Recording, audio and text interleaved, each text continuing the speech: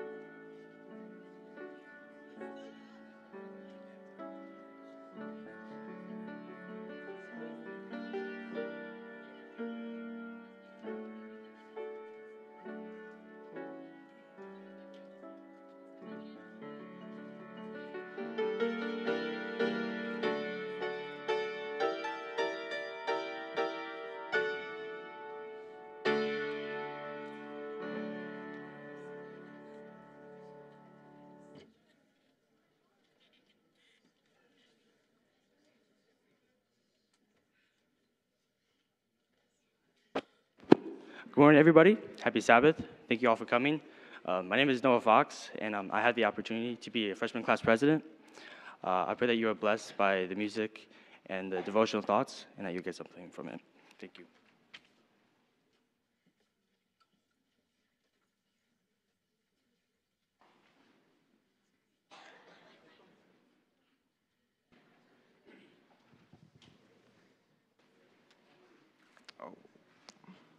Hi, my name is Johannes Durkin, and I'm going to be playing, praying in Portuguese. Um, my name is AB, and I'll be praying in Spanish. My name is Daniel Bullock, and I'll be praying in English. Bow your heads. Querido Deus, obrigado por esse, o teu sábado. Obrigado por essa oportunidade para te glorificar. Senhor Deus, seja com nós aqui nesta hora de adoração. Abençoa essa classe de freshmen e todos nós que estamos aqui. Manda o teu Espírito Santo para nos ajudar a aprender uma coisa dos sermões hoje. Pai teu, é o poder, o reino e a glória. Amém. Padre nuestro que estás en los cielos, santificado sea su nombre. Ahora que vamos a empezar con la escuela sabática, pido que nos des entendimiento y sabiduría para hacerlo bien. Um, todo lo pido en el nombre de Cristo Jesús. Amén. Dear Heavenly Father, thank you for this day. Thank you that it is the Sabbath. Thank you for the sunshine that is out right now. Please be with the freshman class as we have Sabbath school and help someone to get a blessing from it. And thank you for what you do. In your name I pray. Amen.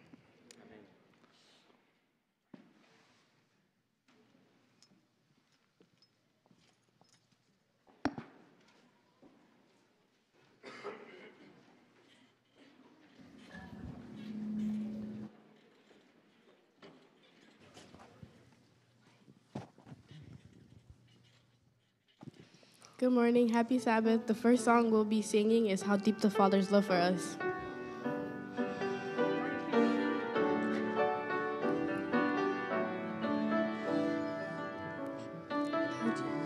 Father's love for us, how vast beyond all measure, that He should give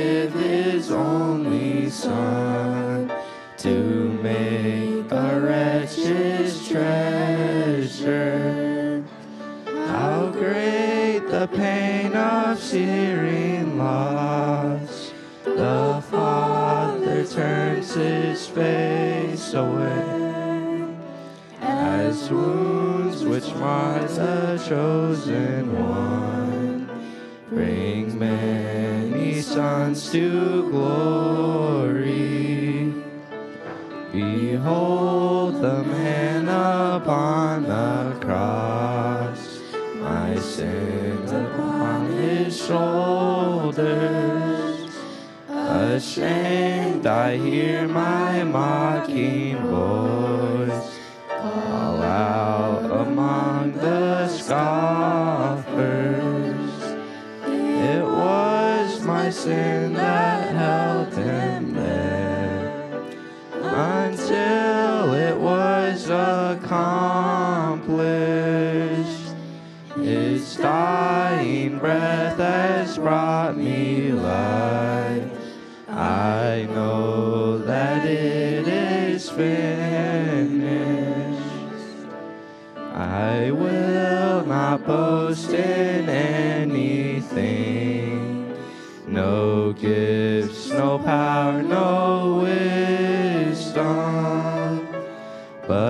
I will boast in Jesus Christ, his death and resurrection. Why should I gain from his reward? I cannot give an answer, but this I know with all my heart. Have paid my ransom. Our next song our next song is going to be Humble Thyself. Guys are going to start, and females are going to echo.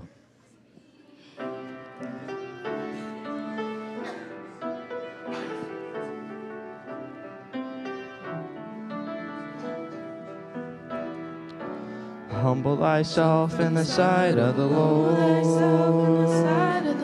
Humble thyself in the sight of the Lord. And he shall lift you up higher and higher, and he shall lift you up. Our God is an awesome God. He reigns from heaven above with wisdom, power, and love. Our God is an awesome God. Hey, in the sight of the Lord. Kneel and pray in the sight of the Lord. And he shall lift you up higher and higher, and he shall lift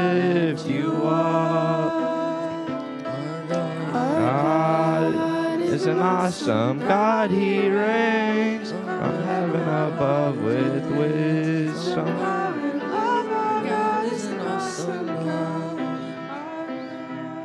is awesome God, he reigns from heaven above with wisdom.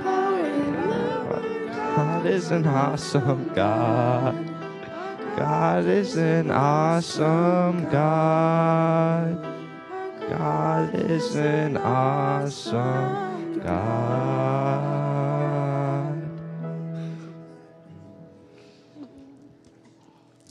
Our next song is At the Cross.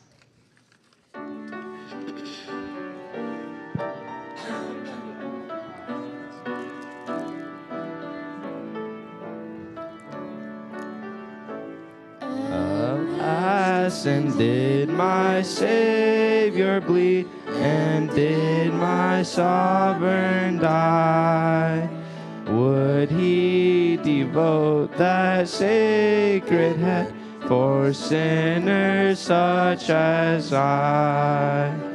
At the cross, at the cross, when I first saw the light, and the burden of my heart rolled away. It was there by faith I received my sight, and now I am happy all the day. Was it for crimes that I have done? He suffered upon the tree. Amazing pity, grace unknown, and love beyond degree. At the cross, at the cross, where I first saw the light, and the burden of my heart rolled away. It was there by faith I received my sight, and now I am happy all the day. Thus might I hide my blushing face while Calvary's sun appears. Dissolve my heart in thankfulness and melt mine eyes to tears.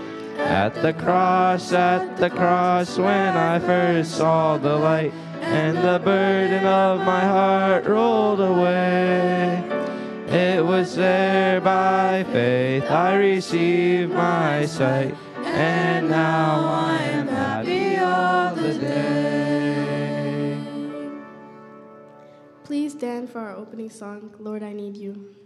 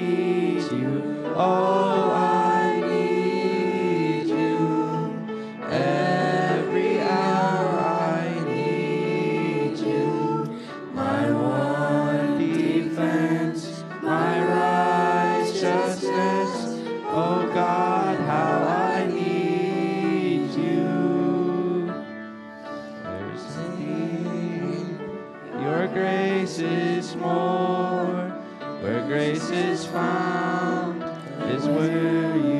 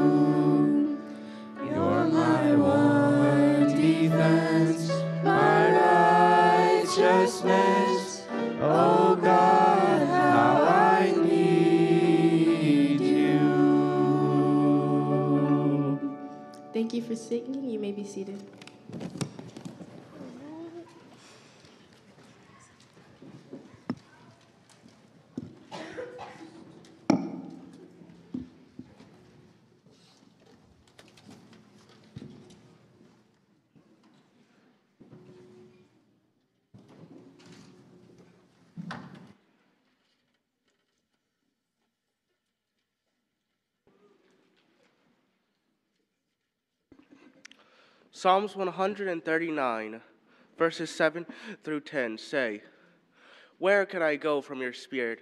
Where can I flee from your presence? If I ascend into heaven, there you are. If I make my bed in hell, behold, you are there. If I take on the wings of the morning and dwell in the uttermost parts of the sea, even there you shall guide me, and your right hand shall uphold me.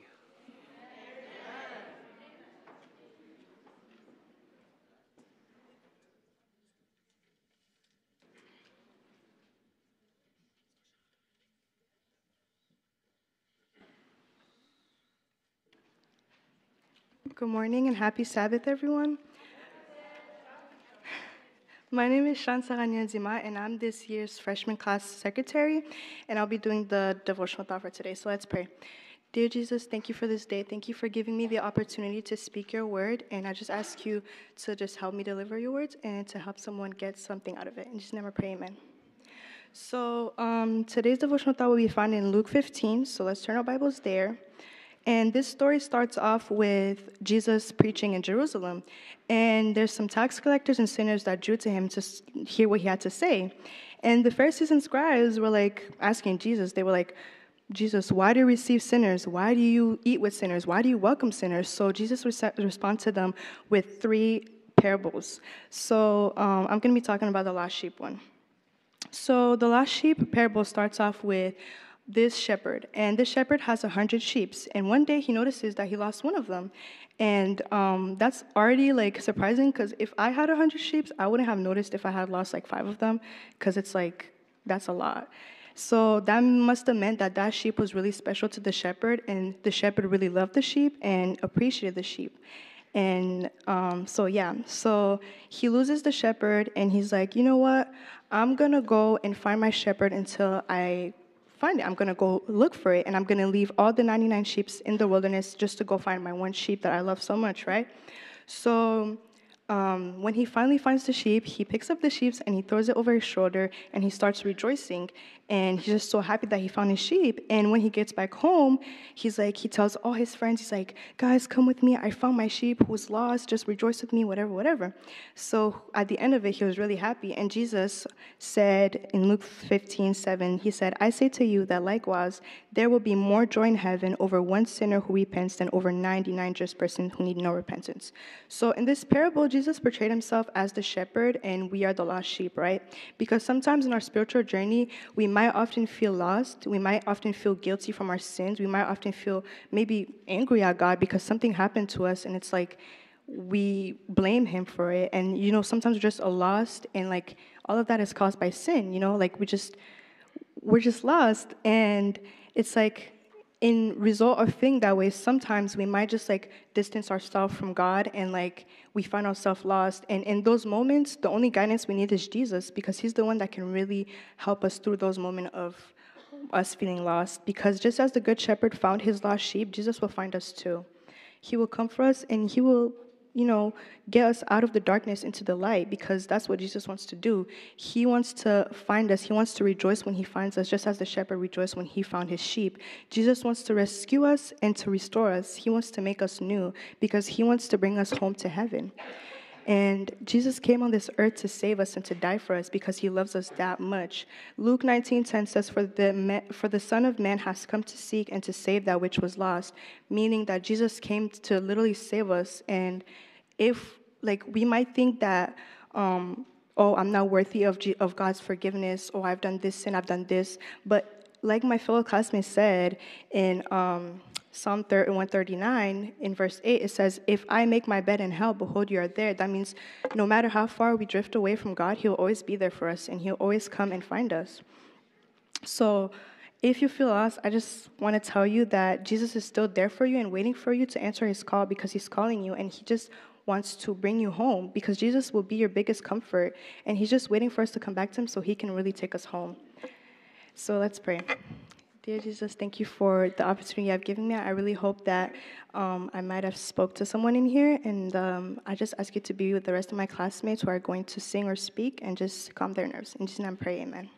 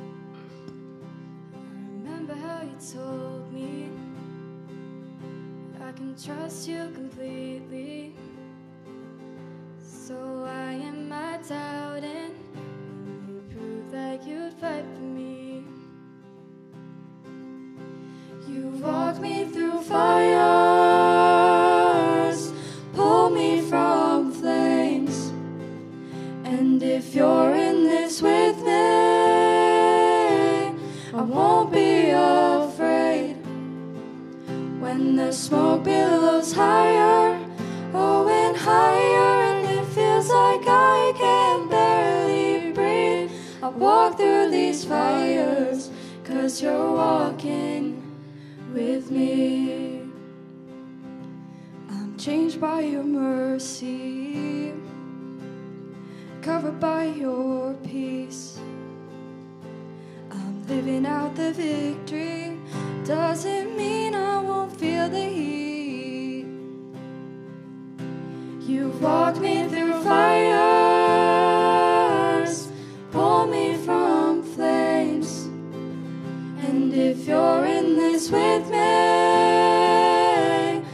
won't be afraid. When the smoke billows higher, oh, and higher, and it feels like I can barely breathe. I walk through these fires, cause you're walking with me.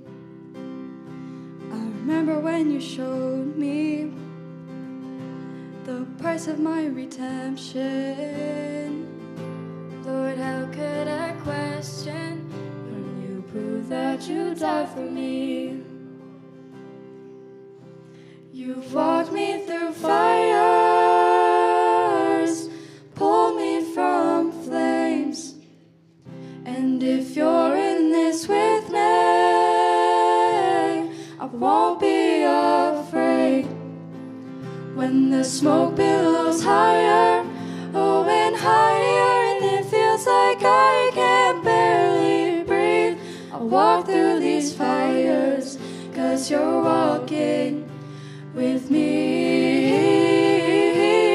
Walk through these fires, cause you're walking with me.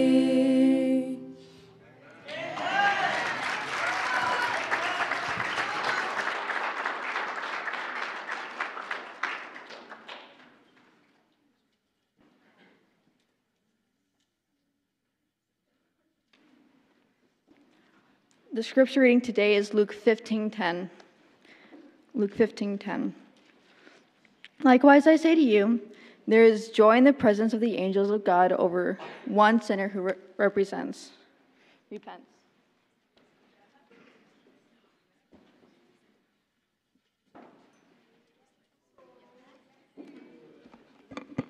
Good morning, guys, and happy Sabbath. Um, my name is Patrick Nzaikorera, and I have the privilege to become or to be the freshman class pastor. And before we start, let's pray. Dear Heavenly Father, thank you for this day. Thank you that you give us the privilege to be here for another day of um, Sabbath school. God, please calm my nerves, help my words, help my words to be yours, and your name, amen. So, let's start with a story. Um, it was the night before he was supposed to fly home. Without realizing it, an American soldier, Chad Reed, dropped his wallet on an Afghanistan street, losing his credit card and all his important military IDs. Luckily, a civilian aircraft mechanic, Bill Peasley, was looking down just at the right moment. He walked uh, was when he was walking to dinner, and he spotted the wallet. After phone calls to Reed's mother in Denver and grandfather in Pennsylvania, the two men used Facebook to coordinate. In a few hours, uh, Reed had left for his plane. Reed got his wallet back just in time before he blow, um, boarded the, his flight to the States. So, how do you guys think he felt when he found the wallet? Happy? Relieved, yeah. Yeah, I also think he felt happy because there's a lot of important things in the wallet. Wouldn't be happy to have it back. So let's turn our Bibles to Luke 15, chapter 8. And it says, Or what a woman having ten silver coins, if she loses one coin, does not light a lamp, sweep the house, and search carefully until she finds it. And when she finds it, uh, she calls her friends and neighbors together, saying, Rejoice with me, for I have found the piece which I have lost. Likewise, I say to you, you there is joy and presence in the angels of God over the one sinner who repents. So this verse is saying um, the woman searches the house diligently for her lost coin, and she lit a candle and sweep the house and moves everything in her way just so she can find the coin. Although there was ten uh, coins, she looked. She didn't stop looking until she found that one coin. So you guys might be thinking, what does the coin represent? The coin represents the value of each individual or soul, or soul that um, to God and the joy in heaven when that one sinner represents, I mean, repents to God and returns to God. So each and every one of you guys are valuable. And if you submit your lives to God and believe in Him, He will, you will have eternal life. And God promised us God, God promised us that in John 3:16 he says that for God so loved the world that he gave his only son, his one and only son, whoever that whoever might believe in him shall not perish but have eternal life. So the joy that the joy in heaven that when you come and give your uh, life to Jesus is really like unexplainable. So today you might be the lost soul. You might be the lost coin, but you don't know it. Or maybe you know a lost coin. What are you willing to do for them? Are you willing to spend all your time bringing them to God and bringing them to God and he and if you bring them to God, God will be happy with you and if you all bring if you find that one person and bring them to God, and we will all find each other in heaven and be happy as a big, happy family in heaven. Amen. Let's pray. Dear Heavenly Father, thank you for this day. And God, um, thank you that you gave me the privilege to speak up front. Uh, you can, my God, help me to help this rest of the Sabbath go well. In your name, amen.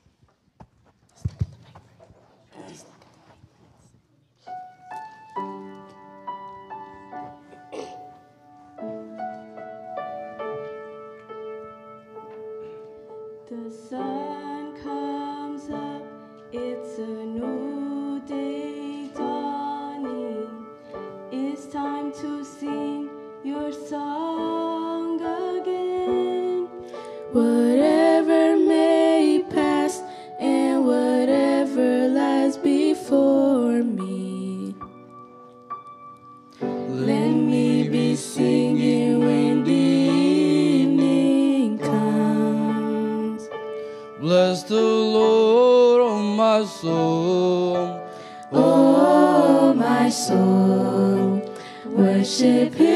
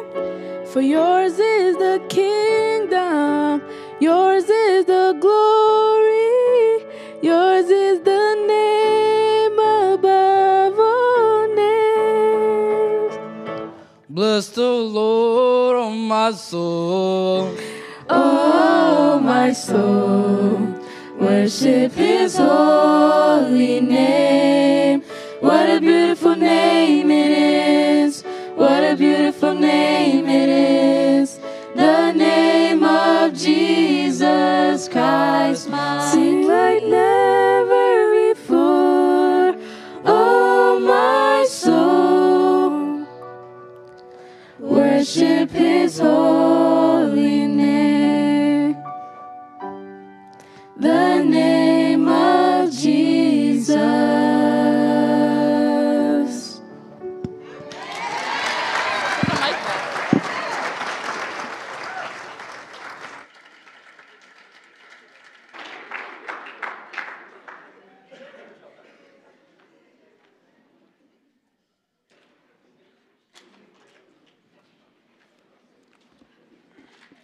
Today's scripture reading is found in Luke 15 24. Luke 15 24. For this my son was dead and is alive again. And he was lost and is found. And they began to make merry.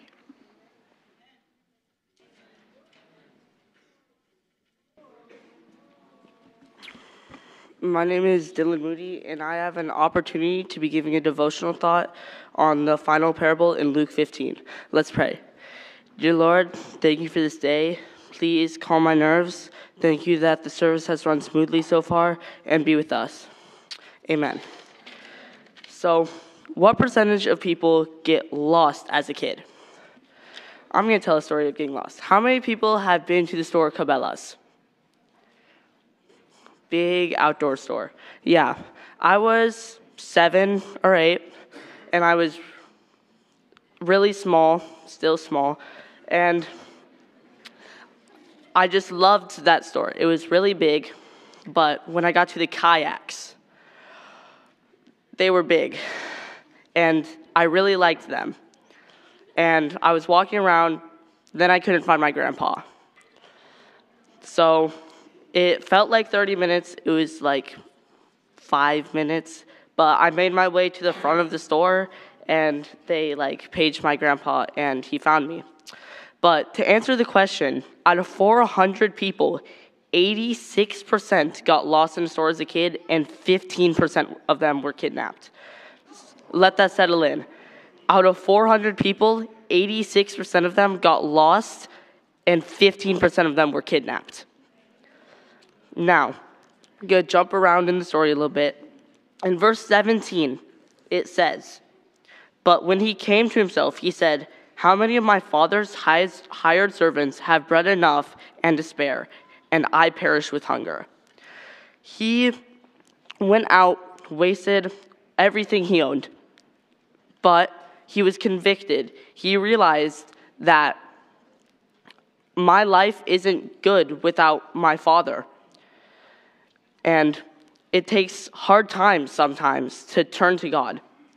But why do we wait? In verse 18 and 19, it says, And I will arise, go to my father, and say to him, Father, I have sinned against heaven and before you, and I am no longer worthy to be called your son. Make me like one of your hired servants. It says he decided to go back, but why didn't his father come back for him? God is trying to make you realize that you're not the same without Him. Now, jump back to verse 15. It says, Then he went and joined himself to a citizen of that country, and he sent him into the fields to feed swine. So he wasted all his riches, and then his friends left him and didn't care for him. But this is like us. Before we go to God, oftentimes we go to different things to satisfy us like drugs, social media, and other things. Now in verse 20, and he arose and came to his father, and they were and when he was still a great way away, his father there saw him and had compassion, and ran and fell on his neck and kissed him. God is waiting for open arms. He's waiting for us to come back to him. Now, verse 24, our scripture reading for this my son was dead and is alive again. He was lost and is found, and they began to be merry. Now, without God, we are in this case dead, and God is our only way to come back. Now, I'm going to tell one more story. On July 17, 1939, a 12 year old Boy Scout named Don Fendler summited Baxter Peak on Maine's Mount Katahdin with his friend Henry Condon. The boys had scrambled to the top ahead of their main hiking party, which included their fathers and Don's two brothers, Tom and Ryan. Clouds rolled in, and droplets of mist collected on Fendler's sweatshirt and thin summer jacket. His teeth chattered, and he grew scared. He decided to backtrack to find his father. The child of an outdoor guide, Condon, refused to go along. He hunkered down and waited. Fendler missed the trail and became lost. Nine days later, he stumbled out of the woods 16 pounds lighter, missing his coat, his pants, his sneakers, and the tip of one of his big toes. By clinging to a story of excruciating loneliness that, re- that would resonate with millions of people. Now, verse 13. And not many days after, the younger son gathered all together, journeyed to a far country, and there wasted his possessions with prodigal living. God has given us talents and gifts. Don't waste them. Maybe today you're waiting until you can make yourself better before you come to Jesus. Don't wait. Go to him now. He, the only way we can become better is through Jesus. Will you today choose to turn to God? Will you acknowledge that you are lost? Let's pray. Dear Lord, thank you for this day. Thank you that you were able to calm my nerves. Please be with the rest of the service and be with us as we head over to the church and finish your Sabbath day. Amen.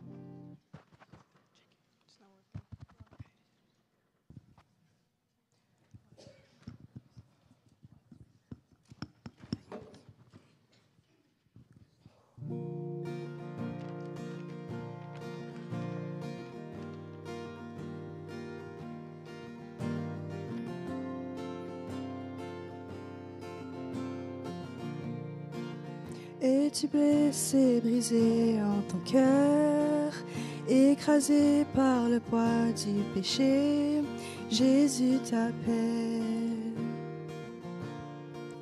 Te sens-tu arrivé à la fin?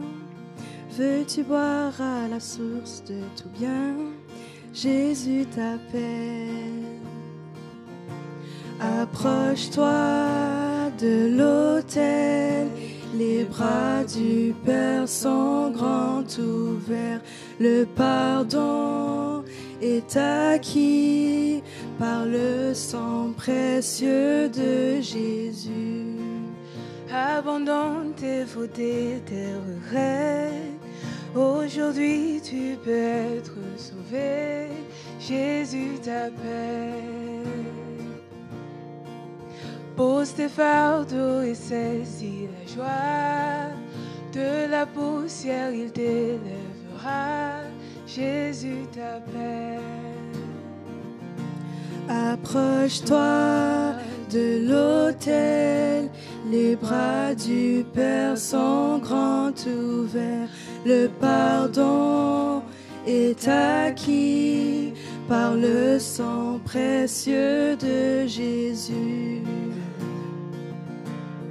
Oh, quel grand sauveur, si bon, si bienveillant, chante Alléluia,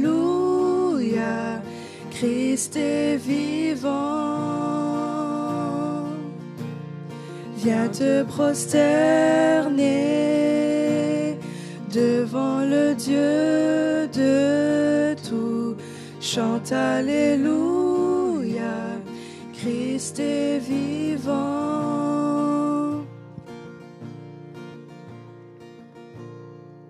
Prends ta croix car la gloire t'attend. Montre au monde ce trésor si immense. Jésus t'appelle. Jésus t'appelle.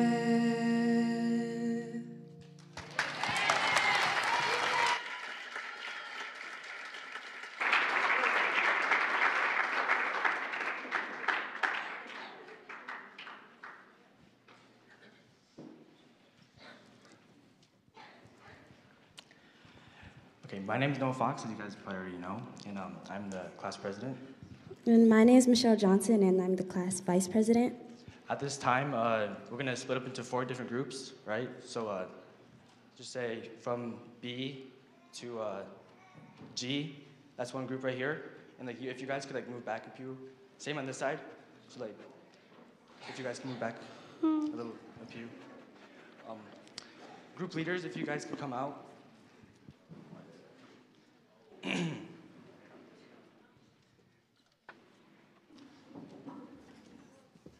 We should get moving, you know?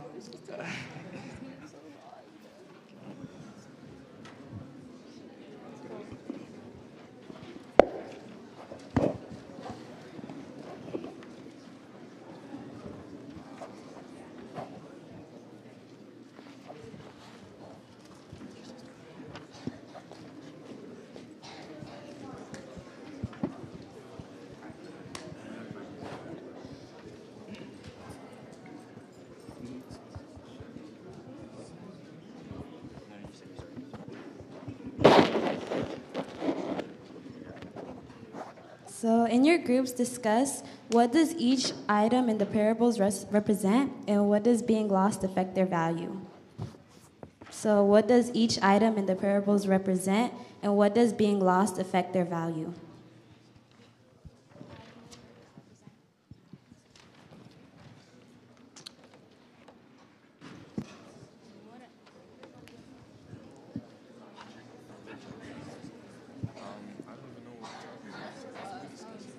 Give you like three four minutes to discuss.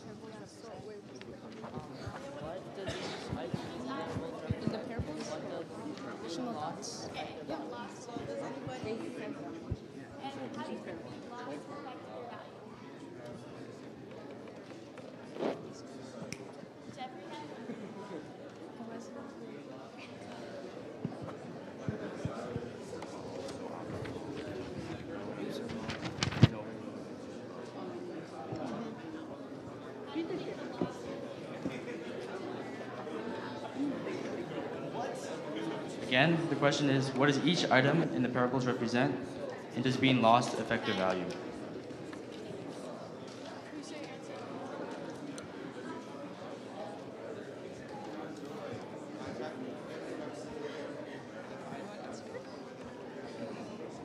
Okay, this group in the back right here. You want to? Yeah. Naya? Oh, um, we said that each item uh, in the parables represent a lost soul in the in the kingdom of God. And does being lost affect their value? Well, they were already valuable, but I think um, because they got lost, um, the owner realizes their value even more. Yeah. This group right here in the front. Um, so, what I think is, what does each item in the parable represent? I think it represents us. Um, like, we're the lost sheep, we're the lost coin, we're the lost son. And I feel like it's different for each person. Um, for instance, in the lost sheep, um, which I feel is for everybody, um, they didn't know. Like the sheep, the sheep was like, "Oh, I'm just gonna like go and wander around." He didn't realize he was lost, and he didn't see the danger he was in. But the sheep, but the shepherd came and found the sheep. And it's just like God. God always has his arms outstretched, and he's always wanting us to come to him. And sometimes we don't see it until some. Sometimes it takes something big to happen, um, and God never wants it to get that far.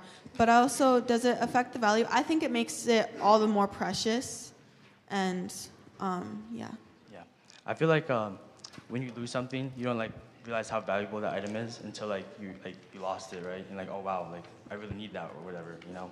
So like I believe like when you lose something, like the value increases, you know. Okay, this group, you guys in the back, is it uh, Jeremiah? Oh, is that? Okay. So in our group, we discussed about the parables, and um, first, uh, we discussed about how we take things for granted, but uh, when we lose it, like it's something valuable because when we lost it, we get something, like we lose something that we used to get from it. So when it's not there anymore, we're like, oh, this thing is this thing was important. So where is it now, right? And when we come back from when we come back to uh, the parables, let's say the ships, uh, if we if we represent the ships, right, and let's say Jesus is the shepherd, right, and He made us through His image. That's why we're, we're that's why we are valuable. We're His, and we look like Him, and so that's why we can't be lost. Yeah. In the back, Jeremiah. Um, I mean, I was just thinking, you know, every one of these lost things the lost coin, the lost sheep, the lost son they all represent us just like in different uh, ways. I noticed in the first two, like the lost sheep, it didn't know where it was, and the lost coin, it, it didn't know that it was lost. And the shepherd or the woman of the house both went looking for that lost one. But in the third one, the parable of the son, the son knew that he was leaving. And he decided to leave. He didn't want to be there anymore. And God honored that choice, or the father honored that choice and let him go. But when he came back, his son was still valuable to him and he still loved his son, you know? Yep. Okay. Our next question is uh, What determines the value of the lost item? So, in your groups, uh, discuss uh, what determines the value of the lost item. So, kind of going more into like the last question. We know that it has value, but what determines how valuable it is?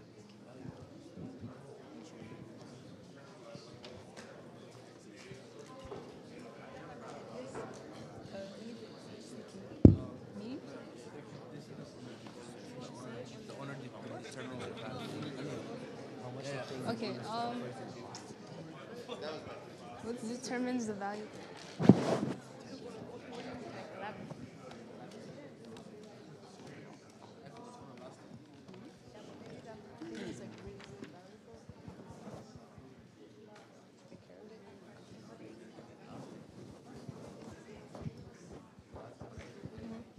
Okay, you can um, start wrapping up.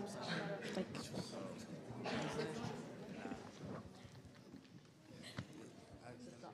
um, Johannes. Yeah, so what, what I thought was what determines the value is how much the item that the person lost means to them. So like if it's something like a coin, like the woman was probably like poor. So the coin probably like was very valuable to her because she doesn't have a lot of money. It is it? so you know the person that determines the value of like you know the um, the item is like it's the owner because like you know it's really important to him. So I'm saying if it's really important to you and you like and you lose it like you can't just like leave it. You're gonna go to it and you're gonna you're gonna try to find it. Yeah. So like so like it's really important to you and you're gonna try to like all your you're gonna, you're gonna use your best best efforts to find that item. Yeah, definitely, definitely. Uh, anybody else? Gina? So, for the sheep, the owner is gonna put value into on the uh, into the sheep because the owner looks for them, takes care of them, feed them. Of course, you're gonna put value uh, on them. For the coin, you work for it. So, and it's money. It's money. You work for it. You also gonna put value into it. And then for the son, it's the son is part of your family. You raised your son. It's just it has emotional value and uh, like different kind of values. So I think I think for all of those examples, you work for it and they're part of you. You have emotional, like, yeah, it's important to you. So that's why you put value into those things. Yeah, um, analyzing this, me and Joel, um, notice that sometimes we have uh, Jesus in our life, but we determine the value and the effect that he's going to have in our lives. So the same thing happens with these um, objects, these coin, the sheep, the lost son. Um, they were all valuable to the owner. Um, but really, in our lives, when Jesus is in our lives, we determine the value he's going to have over our lives. In the back. I was just thinking how oftentimes we as um, people here on earth, we don't always value other people the way Christ does. And so Christ sees the value in us and he'll hunt for us. And just like um, sometimes we have a special memento that's special to us. And so for us, if we lose it, that's a real hard thing to do. But if someone else, they don't care as much as us about what we lost. And sometimes we look at other people and we don't see the value in them. Um, especially depending on their choices in life. And so we need to understand that all of us, no matter what those people's choices are, are valuable to God, and we need to try for everyone, not just people that we think are worthy. Okay, the next question is What do these parables tell us about God's reaction to us when we make mistakes, fail at something, or are lost in general? And how does God react to us when we come back? So what's what is God's reaction when you make a mistake? I just think um, God, God's really humble. Like, the shepherd is of more value to the sheep than the sheep is to the shepherd. I mean, the shepherd has 99 more, right? And the lady that owns the coin is of more value than the coin, right? Along with the father, he, he, everything the son has is from the father, right? But the son didn't recognize his father being of any worth and wanted to find something else. So he demanded his inheritance and he went away. But God, God's reaction to it wasn't like, why should, uh, why should I go after you, right? Why should I um, take you back? His reaction was, I want you back and I'm going to go looking for you. Yep. Anybody else? Friendly? Um, so, as we were discussing, um, I find that in the parable of the lost sheep and the lost coin, I find that um, the two um, people that are describing this story, what did they do? They go and they, lo- and they look for that lost um, item or for that lost um, valuable, precious sheep. And I find that um, God, in His infinite mercy, finds ways to contact us or finds ways to um, reach us in ways um, when we are lost. And in the parable of the lost son, I see that um, the father allowed the son to leave and he respected the choice that the son did. But um, God also finds ways in, and has a lot of patience with us many times in which he allows us to see um, that we are in need of him. And when we are in need of him, he opens his arms and is in reach to reach us. Um, so I find that God extends his arm a lot towards those who are lost. Dylan's group. Um, so it, the parables are different because in the lost son, his father respected his choice and let him leave. But with the other two parables, he looked for what was lost.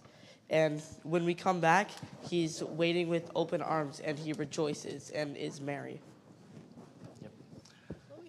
So, um, what I get from what I see um, in God's character from this is God was always looking, and even in the parable of the lost son, um, the father, I, the father was always waiting, and he he looked out and he looked for his son, and was waiting for his son to come home.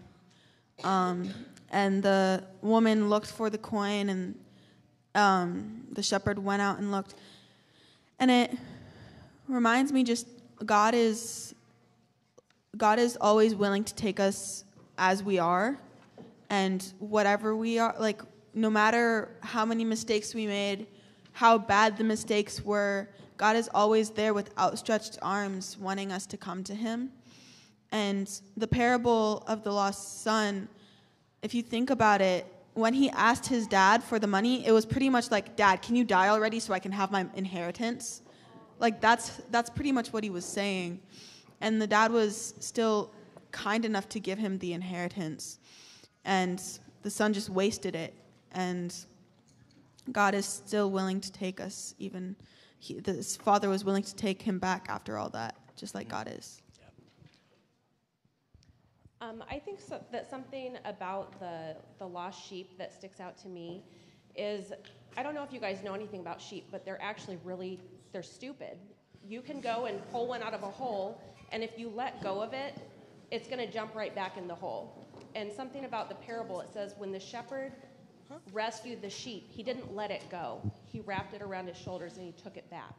And I think that that's something that we can learn about God is when he rescues us, he's willing to hang on to us if we allow him to. Mm-hmm. Okay, our, our next question is What motivates God to search for his children who have lost their way? And how does that make you feel being one of his children?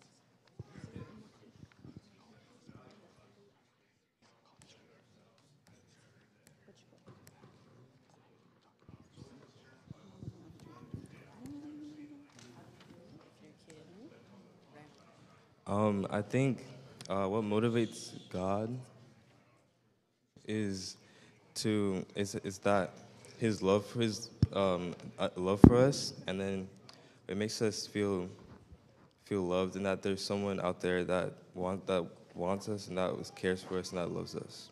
Mhm.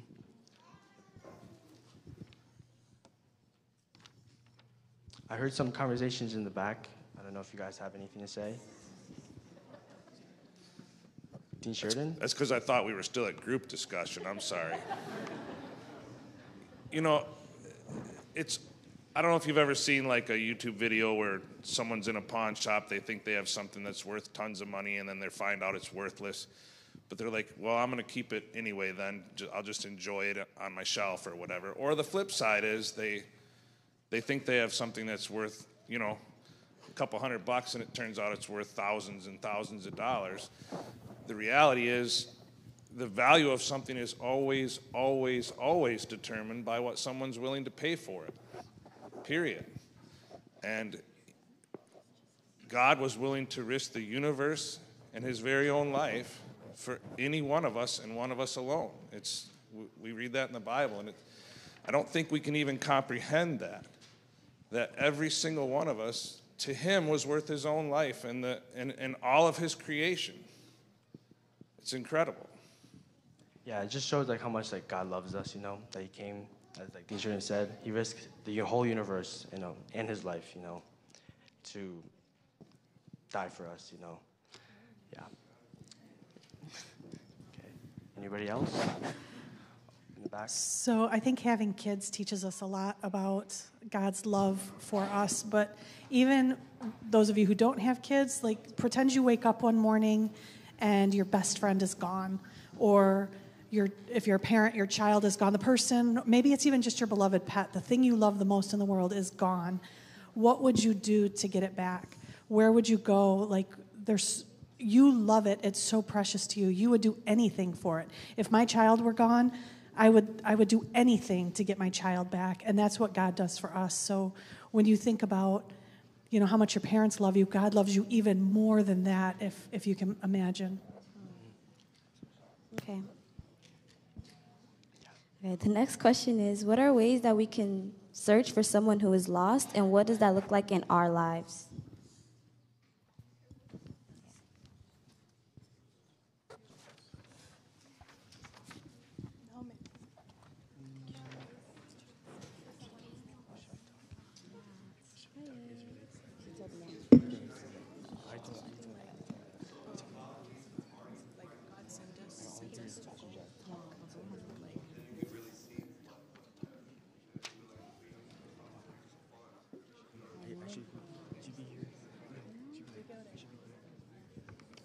The question is, how can you say, can I still?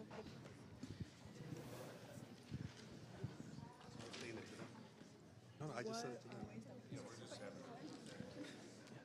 Oh, um, for for me, some ways that you can kind of look for someone who is lost is like if you're walking in the halls or you know you're just walking on the sidewalk. If you're at home and you see somebody that's sad or you could just tell that their day isn't going well, you know, try and like talk to them and see if they don't want to tell you what's going on. You know, just flash them a smile, tell them to have a good day. You know, those type of stuff.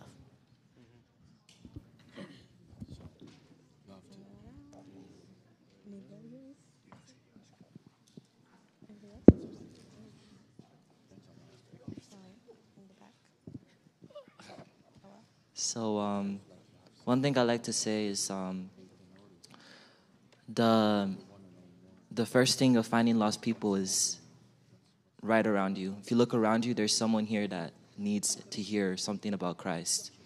And I find that the essence of finding someone who is lost is in our own community. And understanding that there are people that are um, living their own lives and are in need of a Savior, and that there are people who are looking for a Savior and don't know how. Um, we are um, the people that are supposed to be looking around our community, looking, and seeing who is out there that is willing to know about Christ. And so uh, I believe that the essence of finding someone that is lost is in our own community. Okay. Uh, we're- running sh- uh, short on time, so uh, we'll jump to our last question. And um, it is uh, How did Jesus ask us to respond in these three stories? And what is he calling us to do?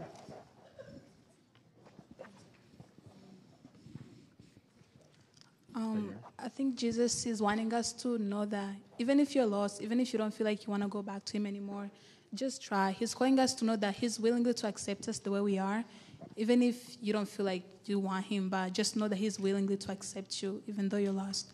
So He wants us to at least try to go back to Him, and He'll always be there for us. In the back.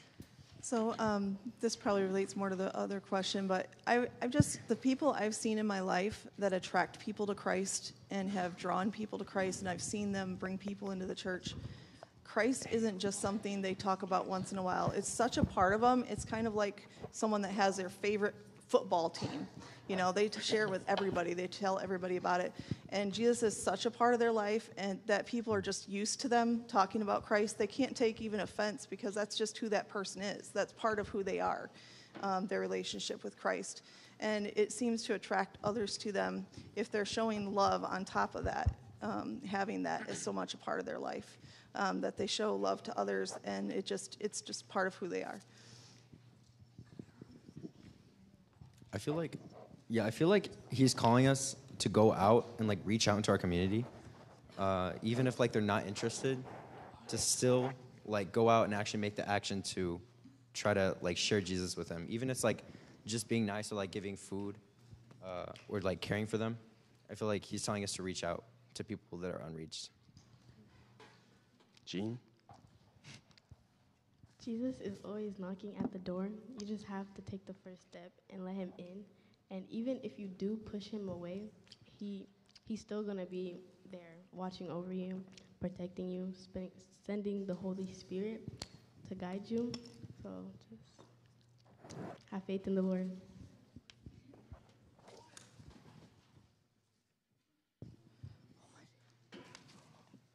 So as you can see, like many many of us are like being called like differently, you know. Like maybe today, like you're being like you're gonna respond by like searching, you know, like searching the house, you know, searching for the lost sheep, or like maybe you can sense that you're lost today, and like God is calling you back home, you know, back to the fold. And the, the the big question is like, how will you respond to that? Like, will you come back home? Like, will you come back like to God? Mm-hmm. So like, that's a good note to end on, you know.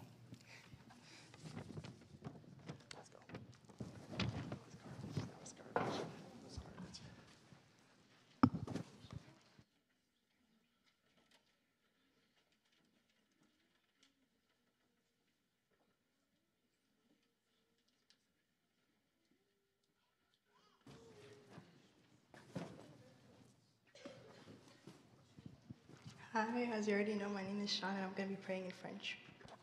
My name is Eden Shishki, and I'll be praying in English. My name is Patrick Zakura. I'll be praying in Kinyarwanda. Let's pray. Nos Pères aussi, merci pour cette journée que tu nous as accordée. Merci de nous avoir tous amenés ici. Merci de nous avoir bénis avec euh, toutes euh, mes, mes camarades de classe. Merci euh, juste pour ce moment de, euh, que tu nous as donné. Et je te demande d'être avec nous pour le reste de ce sabbat. Au nom de Dieu, je prie. Amen. Dear Heavenly Father, thank you for this day. Thank you that Sabbath school went smoothly. Um, thank you that today is your holy day, your Sabbath. Um, please be with the baptisms that will be happening today at the church, and please bless the rest of our day as we head over to the church and everything that we do. Amen. turagushima ubutaha bw'ingo ko turinze kugeza uyu mwanya turi mu bw'umwuka w'ubuzima data komeza kubana natwe ibintu byose bigende neza n'amatezo agende neza mu izina rya yesu amen